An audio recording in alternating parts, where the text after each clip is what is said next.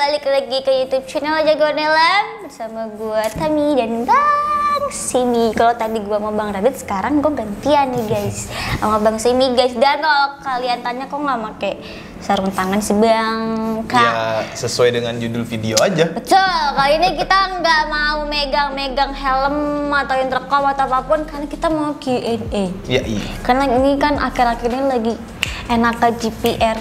Tag. Street tuh lagi kayak membung bom gitu kayak bom Teks apa? Teks sih. tag street ih gue bingung kan kadang ya Tapi gue taunya tag dit gimana dit? Teknologi. GPR tag, GPR Indonesia ya. GPR tag lah ya. Tag, tag lah tag, GPR tag. yes jadi siap Q&A-nya udah di share ya di tim jagoan. Jadi kalau nggak salah waktu pas videonya Bang Radit unboxing itu juga udah dikasih tahu. Cuman Mhm. waktu itu kan janjinya kita sama orang enakan nih. Mhm. Cuman entah gimana mungkin ada halangan apa gimana orang enakannya Betul. belum bisa dateng. Jadi yaudah, tadinya mau gua sama Bang Radit, cuman Mhm. kasihan nih kata Mi kalau gua berdua sama Bang Radit, kasihan cuma satu konten.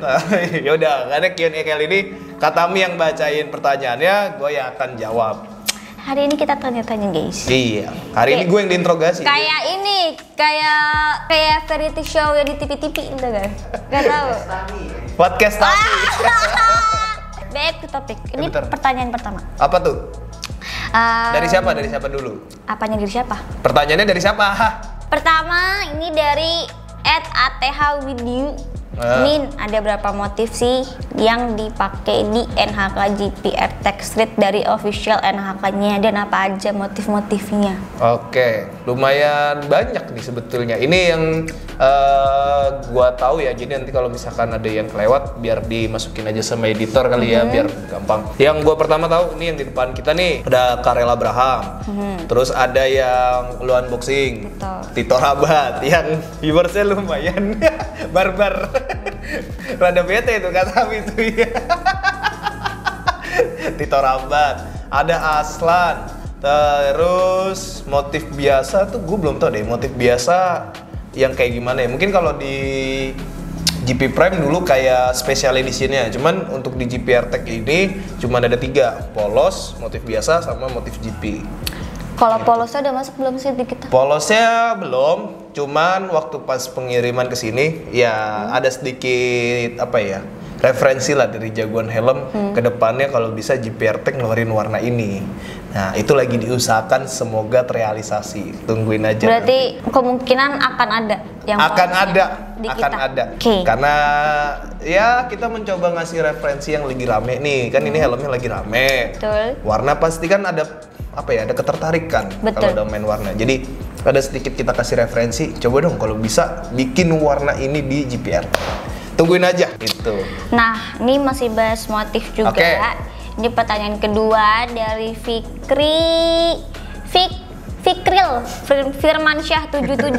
Susah amat namanya. Iya makanya. Nih, Apa, apa, apa? Untuk motif pembalap tuh nanti ke depannya bakal ada penambahan, ada Penambahan. penambahan nggak? Terus kalau misalkan ada, Hmm. biar makin kece aja gitu maksudnya. Hmm, jadi kalau misalnya ada tambah banyak nih pilihan motif GP. Kalau motif Motif pembalap ya? motif pembalap ya motif GP jujur gue juga belum tahu sih karena kita juga belum dapat bocoran Oh. kalaupun ada bocoran ya pasti belum bisa disampaikan. Iya sih. iya nggak sih? Sama bener-bener. masih rahasia gitu. Buat tahu patokannya bakal ada apa enggak bisa lihat di WSBK atau di MotoGP. Pembalap-pembalap di tahun ini mereka pakai livery apa? Dah bocorannya gitu aja sih kalau kalau menurut gue pribadi. Lihatnya dari situ. Oh iya bener juga. Iya, jadi kalaupun si pembalap itu udah pakai motif itu, artinya mungkin ke depannya di motif umum atau di pasar umumnya pasti akan dikeluarin juga. Oke. Jadi bukan bocoran, wah motif GP ini bakal keluar nih, enggak. Tapi kalian bisa nerawangnya dari uh, event MotoGP, entah dari Moto3, Moto2, MotoGP, USBK, terus WSCC ya kalau nggak salah yang 600 cc-nya itu kalian aja lihat aja tuh pembalap yang pakai helm uh, Henaka motifnya ada yang baru nggak nih di tahun ini Iya, karena kadang tuh produsen tuh emang kadang suka nge-spoil gitu loh, tapi nggak secara langsung. Dan kita nggak sadar. Iya, kita nggak sadar. Kita nggak sadar kalau mereka tuh udah masih spoiler. Iya, baru sadarnya pas, oh helm ini motifnya dia. Pas helmnya udah dilihat kita tuh kayak, Iya. oh baru tahu. Gitu. Oh kemarin dipakai loh, padahal di sini loh. Iya. Tapi kita nggak sadar. karena ketutup sponsor. Betul. Gitu. Oke, next.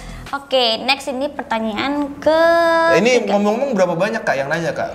Ada sembilan pertanyaan sih yang gue siapin. Oh, gua kira ada se-RT yang Oh, nanya. bisa seharian kita. Oke, next. Oke, ini pertanyaan ketiga dari Khoid Hmm. Khoidar Harahap Khoidar. 7. Ah. Sertifikasi helm ini ada apa aja? Eh, ini tuh maksudnya GPR Tech. Yes, di Tech GPR Tech untuk yang street setahu gua ini SNI. SNI. Tapi kalau untuk yang versi race, Versi race. itu lebih banyak. Eh, dia udah pasti FIM, udah pasti ICI, SNI, DOT, hampir semua sertifikasi sih kalau yang versi race. Tapi kalau untuk yang street SNI udah pasti standar nasional Indonesia. Oke, oke. Oke, next. Oke, next ini pertanyaan Gue keempat. salfok banget lihat motif Karel Abraham yang ini. Cakep Glitternya itu loh. Glitternya. Iya, glitternya tuh, ih pas di hitamnya, ini ngingetin gue kayak helmnya Radit. Helmnya Radit kan hitamnya karbon, kalau ini hitamnya glitter. Yang mana? Yang AGV-nya dia. Oh, yang biru tuh. Iya. Yang dipajang mulu. Heeh. Nah, Iya, sampai oke. netizen bosen. Ah, iya. Oke, lanjut ke pertanyaan selanjutnya. Apa tuh, Ini Kak? dari Galang PTRM. Untuk yang size ML, bagian Mm-mm. dalam fan mulutnya kan gak ada lubangnya. Mm-mm. Nah, pertanyaannya adalah, apakah bagian dalamnya ini bisa diganti pakai punya GPR Tech Race yang udah ada lubangnya? Kalau bisa, kalau bisa diganti nih, Mm-mm. partnya itu dijual nggak? Maksudnya di dalam mulutnya sini. Iya. Jadi fan dalamnya itu kan katanya yang Nggak ini, bolong. Ya nggak nggak bolong. Ah. Tapi yang di atas tuh bolong. Mm-mm. Bisa ditukar gak? Oke, jadi sebelumnya ada yang komen gini kak di Oke. video YouTube bahwa untuk batok L sama Hmm. batok M memang ada perbedaan nih antara lubang mod fan-nya. Hmm. Ternyata pas gua cek sama Radit, dua-duanya sama. Jadi batok M sama batok L lubangnya itu cuman ke nose guard. Dan itu juga udah dijelasin sama uh, pihak NHK-nya waktu itu. Bahwa untuk batok M sama batok L itu untuk sirkulasi udara mod fan-nya diarahkan lewat ke nose guard. Kalaupun yang versi race, memang kan peruntukannya untuk race. Notabene pembalap berapa ya? Sekitar 25 lap lah ya. Pasti kan butuh sirkulasi biar nggak pusing kan. Makanya dia ma lubang mod fan-nya tuh langsung bolong kalau ditanya bisa tukeran atau enggak bagian depannya gue belum berani jawab sih. Karena belum nyoba. Belum nyoba. iya. Ntar kalau gue bilang bisa nyatanya nggak bisa gue bilang nggak bisa nyatanya bisa. Nanti jadi kita ngasih hoax jatuhnya kan. Jadi kalau busa sama Pfizer bisa tukeran. Jadi yang dari versi street ke versi race itu bisa kalau untuk busa sama Pfizer. Tapi kalau untuk mode fan gue sendiri belum tahu dan belum pernah nyoba Oke. Gimana? Cukup ini ya? Cukup. Nah, Next. ini kan tadi lu abis nyeletuk bahas padding nih, bahas busa. Mm-mm. Nah, ini ada yang nanya nih, ini Mm. dari Dev. Dev Gesli ini apa sih namanya pada susah-susah banget? Iya. Gue. Susah kan gue, lidah gue orang kejepit. orang ini orang lokal ya Iya, di Bekasi. nyablak ya Oke, jadi em, Abang Devi itu tuh nanya kan Hmm. NHK GPR Tech itu kan ada empat size nih EPS-nya, Hmm. size paddingnya. Hmm. Nah, kira-kira kenapa bisa ada banyak gitu loh? Hmm, jadi IPS itu sebetulnya nggak terlalu ngaruh banget. Ah. Yang ngaruh itu sebetulnya di batok. di batok? Di batoknya aja. Batoknya kan cuma ada 2 M sama L. Tapi kalau untuk busanya, untuk paddingnya itu sampai eh, 7. Sampai tujuh ya? XS sampai triple XL. Kalau yang badannya lebih besar atau orang-orang yang overweight, kalau butuh helm yang double XL sampai triple XL, pilihannya GPR Tech.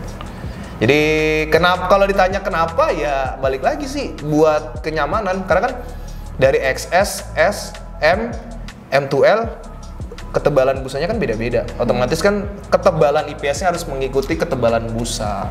Oh, berarti Gitu. bisa true fit downsize. Makanya Upsize. itu yang uh, bikin helmnya tuh jadi walaupun dipegang berat tapi pas dipakai enak karena paddingnya tuh sempurna. kayak Jepangan lah gitu. So jadi kesimpulannya bakalan true fit, downsize atau upsize? True fit kalau untuk GPR Tech Street balik lagi berkali-kali gue bilang true fit, True fit. true fit. Cuman ya memang dimensinya aja lebih besar. Berarti kesimpulannya true fit. true fit. True Terjawab. fit. Terjawab. Oke, apa lagi kak? Nah, ini Nah. bahas sel ya guys. Nah, ya, guys, Ini ya. dari Sandi 07. Wis. Kan ukuran sel GPR Tech Street sama RX9 itu gede mana? GPR Tech Street. GPR Tech Street. GPR Tech Street udah jelas. Udah jelas. udah jelas, udah sesimpel itu aja udah. kan dia nanya lebih gede mana? Iya. GPR Tech Street udah. Ya sih betul. Terus ada yang nanya nih dari Naufal Alif underscore Pratama. Ah. Min kan saya pakai GP Prime tuh ukurannya M. Mhm. Kalau GPR Tech Street harus M lagi atau downsize? Kan size chartnya beda tuh. Kalau untuk di GP Prime M, kalau di GPR Tech harus pakai apa? Iya. Pakai M juga. Karena Bang Radit juga pernah pakai M dan di GPR Tech waktu pas kita road review dia pakai M. Nah, yang unik justru gua. Kan gue pakai L. Gua pakai L ngerasanya masih terlalu longgar. Justru gue lebih nyaman pakai size yang ML. Jadi batoknya M, busanya L. Ada lagi yang nanya. Apa tuh? Eh, muter-muter. Ya kan muter-muter kan? muter-muter, bablas. gua. Ini dari Tio underscore Saputra Bang mending NHK GP Prime atau GPR Tech? Mendingan GPR Tech apa GP Prime? Kayaknya kayak pertanyaan ini udah gue jawab di video sebelum ini deh harusnya. Coba menurut lo aja sih ini Menurut gua singkatnya aja lah. singkatnya kalau lu mau cari helm yang adem, yang enak buat harian, GP Prime. GP Prime. Tapi kalau lu mau nyari yang feel premiumnya dapat tanpa lu budget yang lebih, GPR Tech. Simple gitu. Jadi lu mau nyari helm premium yang bisa buat harian, Tech Street. Kalau lu mau nyari helm daily yang sirkulasi udaranya dingin, adem, terus ventilasinya enak, GP Prime. Simple, padat, jelas kan? Simpel, padat dan jelas. Kalau sampai nanya lagi, sampai ada yang gak ngerti sama penjelasan lo tadi. Gue udah se- sesederhana itu ya menjawab, bener sih? Betul, gue pun ngerti. Emang biasanya? Agak agak guys. Agak. Nah ini Next. ada lagi next dari Ardi Arif 005. Apakah ke depannya? Ngopi bang. Tapi bang, mah.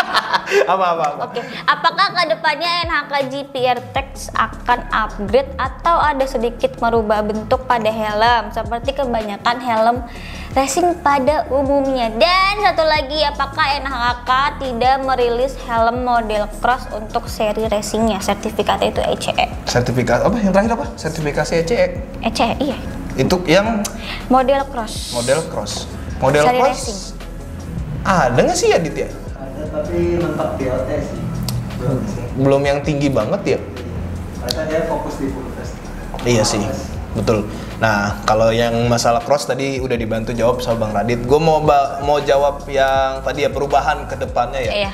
Kalau yang gue perhatiin dari setiap perkembangan helm, mulai dari yang GP Prime, dari yang tadinya dia masih microlock kan udah diganti sama double daring. Kalau bisa gue terawang dengan ilmu ngasal gue, Senayang. Iya.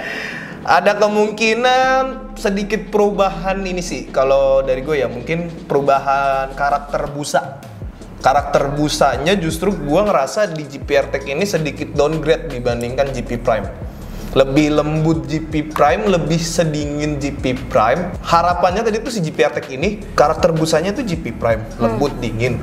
Tapi feel race-nya tuh dapet di GPR Tech. Tapi malah di GPR Tech gue ngerasanya sedikit agak downgrade karakter busanya dibanding GP Prime. Mungkin pertama yang bisa gue tebak adalah uh, perubahan padding atau karakter busa dari si GPR Tech ini ya. Sama kan ada perbedaan nih lubang intercom dari yang batok M sama batok L. Mungkin kalau bisa gue prediksi ke depannya mau disamaratain mungkin. Oke. Jadi batok M sama batok L bakalan ada. Mungkin ya ini masih apa ya spe- spekulasi liar ya. Jadi belum belum bukan dapat dari NHK aja tapi gua ngasal aja gitu. Ke depannya pasti bakal begitu sih. Betul, ini imajinasi kita sih. Harapan gak sih sebetulnya? Iya, masukan, masukan. Saran. Saran. Oke, masih ada lagi. Apa tuh? Ini tentang bahan. Hmm. Dari Rizky 250 underscore mau nanya nih Min kan NHK GPR Tech Street bahannya ABS. Hmm. GP Pro juga kalau nggak salah bahannya ABS kata Iya. dia. Tapi NHK GP Pro boleh buat balap, sedangkan GPR Tech Street belum boleh. Apa emang ABS-nya beda ya Min antara NHK GPR Tech Street sama GP Pro? Makanya nggak bisa beda gitu ibaratnya. Jadi kenapa yang GPR Tech bisa buat eh sorry GPR Tech nggak bisa buat balap, GP Pro bisa buat Bisa balap. buat balap. Balik lagi ke perencanaan awal sih dari pabrik gitu loh atau dari si apa ya insinyur si pembuat NHK GPR Tech Street lah kasarnya. Mungkin NHK ngelihat helm premiumnya NHK yang bisa dibeli secara umum dengan harga yang bisa dibilang ini jauh banget sih di atas rata-rata kan. Tapi feel premiumnya dapat. Mungkin si NHK pikir ya udahlah, gue keluarin nih si NHK GPR Tech Street. Jadi ya memang dilahirkannya emang bukan buat balap. Dan memang TGP Pro tuh setahu gue memang dari lahirnya tuh memang spesifikasinya emang ini buat balap. Cuma kan orang Indo kan kadang-kadang gitu, helm buat balap bisa buat hari dipakai buat harian. Helm harian bisa ya sosok dipakai buat di track gitu-gitu. Ya kayak helmnya Radit sebetulnya kan helm race kan. AGV kan sebenarnya helm race. Tapi banyak orang pakai buat daily, is okay, no problem. Cuman ya baik ya cuman dari NHK-nya udah menyarankan tidak buat track. Kalaupun emang temen-temen ngerasa oh secara spesifikasi gini gini gini bisa buat track, ya kalau ada apa-apa mau gue ditanggung sendiri aja. ditanggung sendiri aja. Ya udah, gitu aja kata Mi. Udah cukup. Dong. Oke, thank you buat sore ini. Udah segitu aja guys. Oke. Kalau ada yang mau ditanya, Bisa tulis di kolom komentar aja kalau masih ada yang kelewat pertanyaannya. mm, kalau nggak kayak IG tim jagoan, gue bisa. Boleh, kayak gitu Wow. jagoan ya. Gua Bang Semi. Gua Tami See kita you next video. Bye-bye. Bye bye.